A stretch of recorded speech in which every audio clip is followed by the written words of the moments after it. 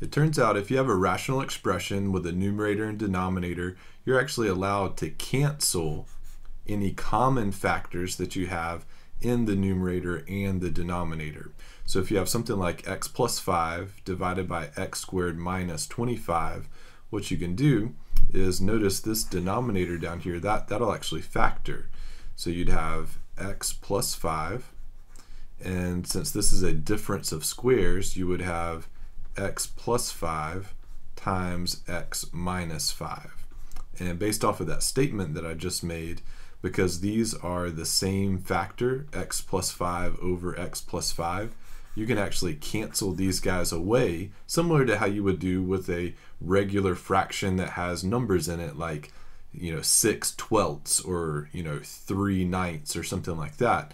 You can actually cancel those entire factors and reduce or simplify the rational expression. So like this one would end up being 1 over just x minus 5. So you can simplify rational expressions again by canceling common factors that you have like this. All right, let's um let's take a look at one more one more thing. Here's a, a very common mistake that students make with rational expressions. With something like this, uh, students would be inclined sometimes to look at the 6x to the fourth and the 2x squared and say, oh, oh, it looks like those guys can be simplified or reduced. The problem is, is that these guys are not factors of the numerator and denominator. They're being added to other terms.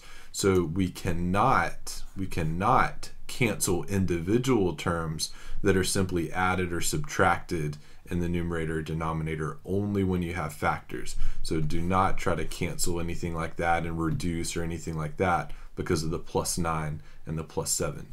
Um, so what you could try to do in a general situation is see if it factors, which means created as a, a product in the numerator denominator. And then if you have any that are the same, you might can cancel some out.